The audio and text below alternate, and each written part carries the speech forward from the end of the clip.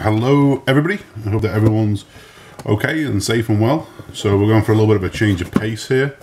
This is the Revell 1970 Pontiac Firebird in this little box. Looks like you get the choice of two, the blue or the white, because uh, it seems like they have different different wheels. Um, so it's been my first muscle car. So let's take a look inside. Oh, if I had a uh, knife that had a blade. Let's try again. Alright.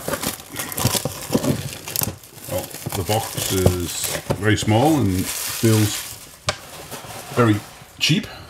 But it was a cheap model, I guess, compared to Nunu or a Tamiya. Alright, let's see.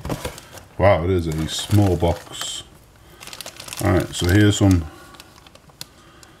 tires already with the Firestone logo on. Interesting, never seen that before. Here's some more tires. Here is the glass front and back.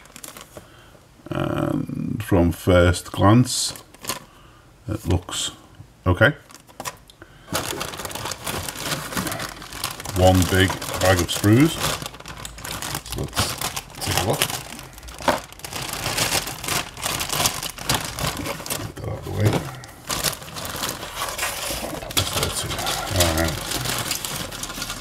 So here is the body.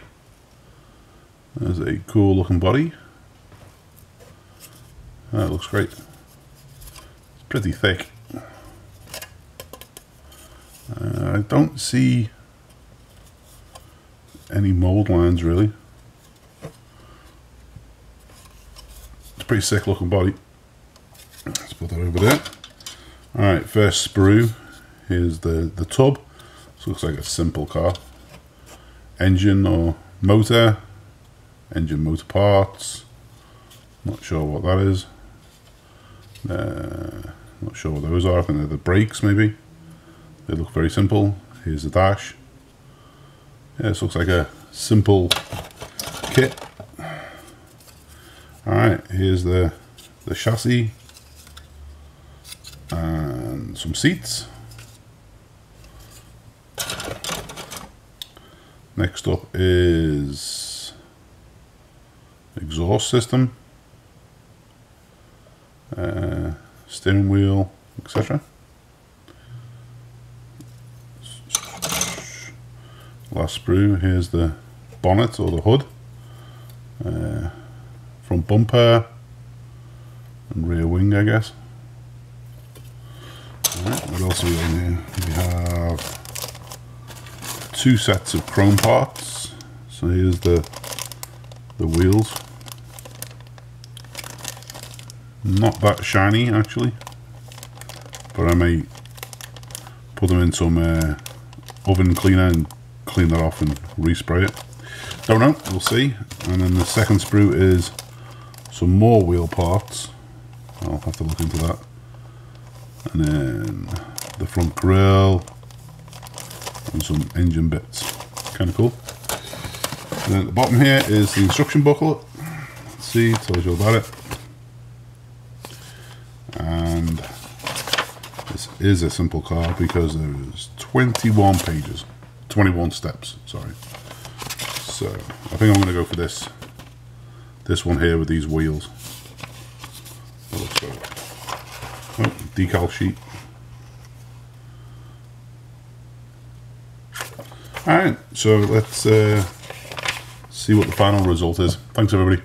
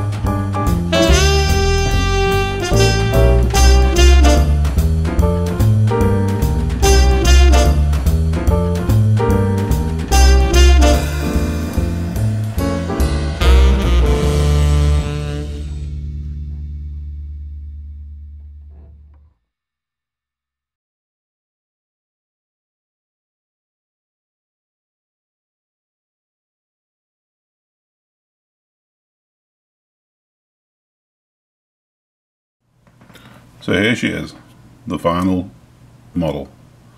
Uh, came out looking great, very good. I think it looks nice. I did some flocking inside. The interior came out good. Not a huge fan of the decals. I didn't put them on the dash. I just painted around in silver. Um, but the kit is a dog. It doesn't have a good fit. Uh, paint came out okay. A little bit of uh, orange peel in the paintwork. But I'm not going to spend hours taking it out. So overall, looks cool. Will look great in the display case. Um, but it was a dog of a model and, and the fit was not good. But tell me what you think, guys. Thanks for watching.